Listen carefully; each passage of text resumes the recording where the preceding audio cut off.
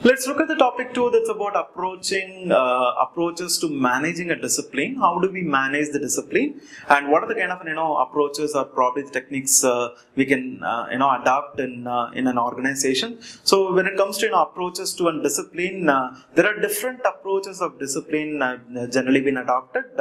One of the common kind of a method is like you know you have four to five kind of methods are there. One is human relation approach.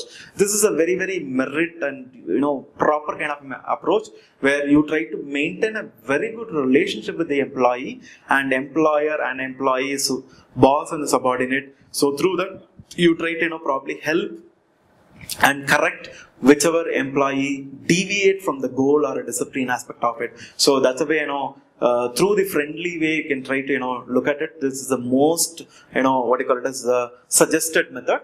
The other kind of a method is your human resource approach. So human resource approach is actually, you know, you try to treat every human being, every human, uh, you know, what you call it, the employee as an asset for the organization. Try to treat him like an, you know, resources and act of actually, you know, indisciplines are dealt by considering the failure in the area of development and you can you know try to talk about the impact factor and maintenance and utilization of the human resources and more logical way try to you know explain the things as to you know because of his indiscipline what are the kind of an, you know impact it had on the efficiency or uh, the overall organizational productivity. Uh, so that can be highlighted, and uh, this is the way actually you know uh, you can look into it. Third kind of an approach is your group discipline approach. When we talk about group group discipline approach, uh, it's nothing but the entire team you try to you know probably uh, inculcate certain kind of you know uh, what you call it as accepted behavior. Through that you know you can able to do the discipline more effectively. And other thing is leadership approach.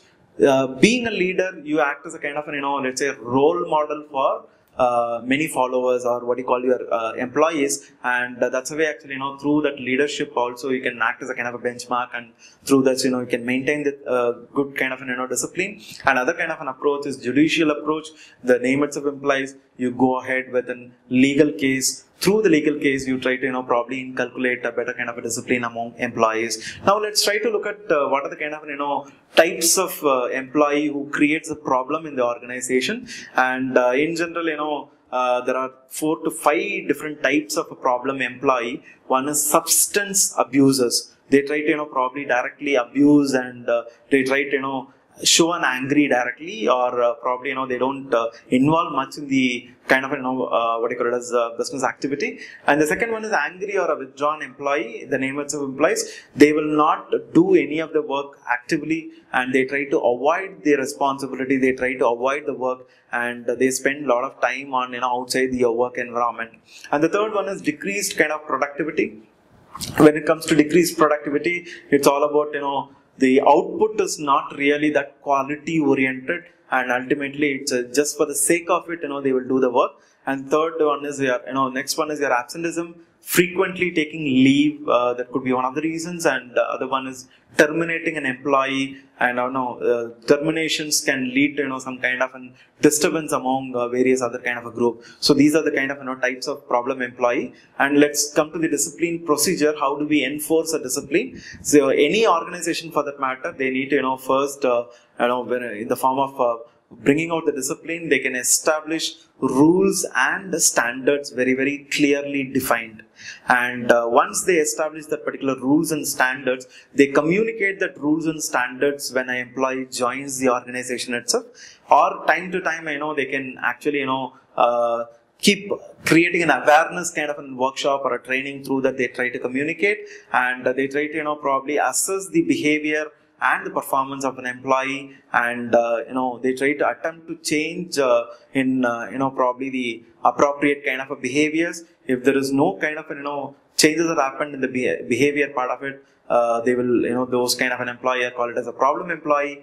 And uh, generally you know this can be dealt with probably first giving a verbal warning followed by you know multiple at least two to three times verbal warning can be given. The next one is you know written warning can be uh, provided and even after return warning if let's say the employee has not changed then then you know there can be a punishment in terms of let's say like uh, your increment cut or probably demotions can be done. And even after done that you know if the employee is not uh, acting properly then we can go ahead with an you know uh, what you call it as a layoff or probably we try to you know uh, terminate that particular employee so these are the ways actually you know we can try to uh, work out a discipline uh, kind of procedures. So the, these are the kind of you know way approaches of managing the discipline uh, in the workplace